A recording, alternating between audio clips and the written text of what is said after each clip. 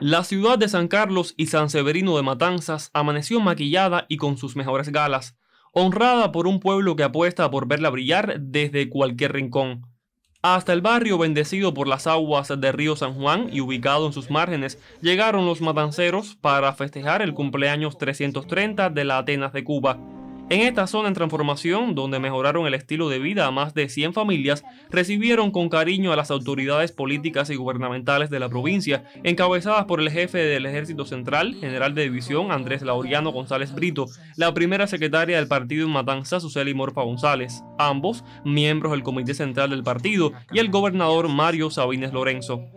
con un espectáculo acuático protagonizado por los campeones nacionales de canotaje, iniciaron las actividades para conmemorar este aniversario de la Atenas de Cuba, donde la poesía, la música y el baile pusieron más colores a la vida que florece para esta barriada desde el corazón del San Juan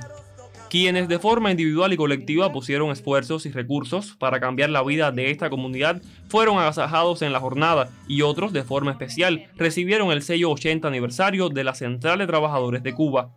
El primer secretario del partido en el municipio yumurino, Antonio Víctor González Inver, informó sobre el proceso de transformación de las viviendas, centros culturales y gastronómicos, así como el apoyo a la población. Como parte de las actividades por el cumpleaños de la ciudad, de las máximas autoridades participaron también en una simultánea de ajedrez en el Parque René Fraga Moreno de la urbe Yumurina y realizaron además un recorrido por la popular calle del medio para disfrutar con los matanceros, el arte que durante 330 años ha crecido a la par de la ciudad.